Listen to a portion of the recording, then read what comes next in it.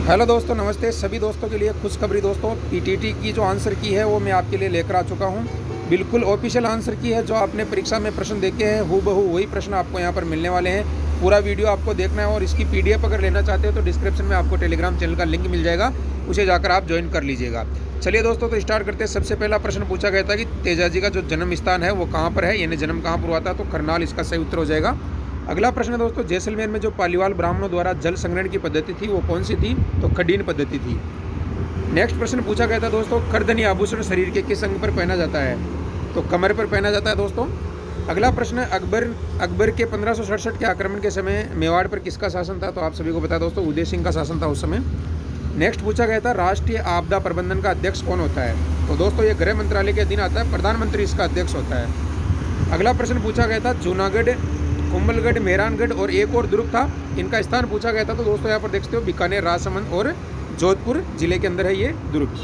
अगला प्रश्न पूछा गया था दोस्तों इकोनॉमिक्स से कि दिसंबर 2020 तक राजस्थान में कितनी ऊर्जा अधिष्ठापित है? यानी कितनी ऊर्जा की क्षमता है? तो इक्कीस मेगावाट। अगला प्रश्न पूछा गया था, कोविड 19 किस अंग को प्रभावित करता है? तो फेफड़े इसका सही उत्तर हो जाएगा दोस्तों।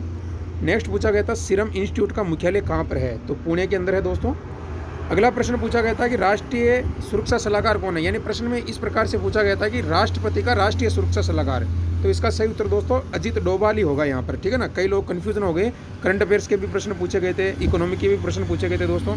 पेपर का लेवल बहुत अच्छा था यहाँ पर। और बाकी बात की जाए दोस्तों तो पूरी पीडीएफ आपको टेलीग्राम में दे दूँगा डिस्क्रिप्शन में लिंक मिल जाएगा।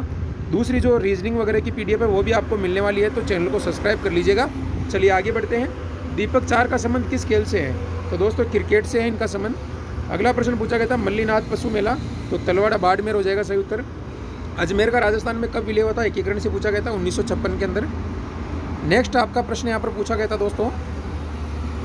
नेक्स्ट क्वेश्चन देख सकते हो। प्रथम बार आईपीएल किस टीम ने जीता था? तो दोस्तों, राजस्थान रॉयल ने जीता था। अगला प्रश्न पूछा गया था, किस संविधान संशोधन के द्वारा मतदाता की जो उम्र है 21 से घटाकर 18 की गई थी?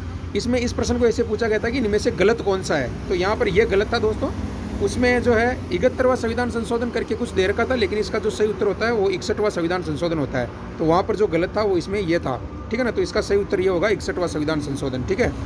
अगला प्रश्न था सर्व शिक्षा अभियान कब प्रारंभ किया गया था? दोस्तों, छियासीवा संविधान संशोधन प्रारंभ के समय जो है सर्व शिक्षा अभियान प्रारंभ किया गया था।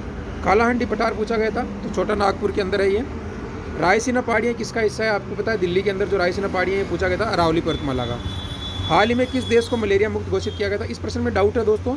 क्योंकि अभी चीन को मलेरिया मुक्त घोषित किया गया था, लेकिन ऑप्शन में नहीं था दोस्तों, बांग्लादेश और कुछ और वहाँ पर देश थे।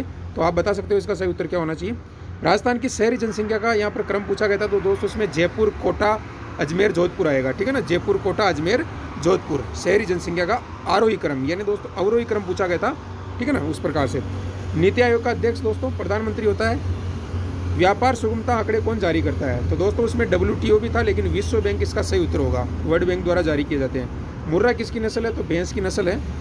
अगला प्रश्न पूछा गया था, कांसा किसका मिश्रण है? तो तांबा और टिनका नेक्स्ट है दोस्तों, भारत का भ्रष्टाचार में कौन सा स्थान है? तो छियासीवा स्थान है यहाँ पर। दोस्तों, कुछ आपको यहाँ पर असुविधा हो रही होगी, क्योंकि जो मैं यहाँ पर अभी भी सेंटर से आया हूँ तो यहाँ पर आपके लिए मैं रास्ते में चल रहा हूँ तो वीडियो बना रहा हूँ उसी समय। तो थोड़ा सा आपको शोरगुल यहाँ पर हो रहा होगा तो आप अवॉइड कर दीजिएगा। चलिए, ताल छापर अभ्यारण कहाँ पर है? तो चूरू के अंदर है, उसमें दे रखा था दोस्तों कि इसमें से कौन सा सुमेलित नहीं है। तो नागौर बता रखा था अभ्यारण करके तो यहाँ पर दोस्तों नागौर नहीं होगा, चूरू होगा उसका, ठीक है ना? या सीता माता ऐसे कुछ करके। इनमें से राजस्थान का कौन सा जिला पूर्व पश्चिम जो कॉरिडोर है, यहाँ पर बॉर्डर नहीं होगा दोस्तों कॉरिडोर कॉरिडोर का हिस्सा नहीं है। तो उसमें दोस्तों कोटा आंसर होना चाहिए, लेकिन अभी भी डाउट है तो आप कमेंट करके ज़रूर बताएँ। उसमें उदयपुर, चित्तौड़गढ़, जयपुर और कोटा आंसर आपका वहाँ पर ऑप्शन के अंदर थे। अगला प्रश्न पूछा गया था, जम्मू कश्मीर जो है, उसका विलय पत्र पर हस्ताक्षर कब किया गया था? तो छब्बीस अक्टूबर उन्नीस को, ठीक है ना? माही किसकी सहायक नदी नहीं है? तो दोस्तों, वहाँ पर पार्वती था, यानी माही और पार्वती देर का था तो ये यहाँ पर आपका सही हो जाएगा, क्योंकि माही पार्वती की सहायक नदी नहीं है, ठीक है? आठवीं अनुसूची में कितनी भाषाएँ थी दोस्तों? बाईस भाषाएँ थी, आपको पता आठवीं अनुसूची में। मेक इन इंडिया का प्रतीक शेर था दोस्तों, उसमें टाइगर भी देर का था, चीता। वंश भास्कर के लेखक कौन है? तो सूर्यमल मिश्रण है दोस्तों। और उस स्टेडियम का नाम जो है प्रधानमंत्री के नाम पर रखा गया था, मोटेरा स्टेडियम, जो नरेंद्र मोदी स्टेडियम के नाम से है दोस्तों गुजरात के अंदर। अगला पूछा गया था, हाल ही में गांधी शांति पुरस्कार 2020 तो शेख मुजीबुर रहमान, ठीक है ना, बांग्लादेश के संस्थापक को दिया गया था। थेवा कला का संबंध पूछा था तो प्रतापगढ़ से उत्तर होना चाहिए। अमृता देवी पुरस्कार दोस्तों, वन संरक्षण के अंदर दिया जाता है, उसमें वन रोपण भी दे रखा था। तो इस प्रकार से मैंने लगभग दोस्तों आपके काफ़ी सारे प्रश्न करवा दिए हैं। और कोई डाउट हो तो कमेंट ज़रूर करना है और नेक्स्ट आंसर की मैं लेकर आने वाला हूँ। चैनल को सब्सक्राइब कर लेना और टेलीग्राम ज्वाइन कर लेना। वहाँ पर आपको मैं भेज रहा हूँ। डिस्क्रिप्शन में लिंक मिल जाएगा। आशा करता हूँ वीडियो अच्छा लगा होगा। फ़िलहाल के लिए थैंक यू धन्यवाद।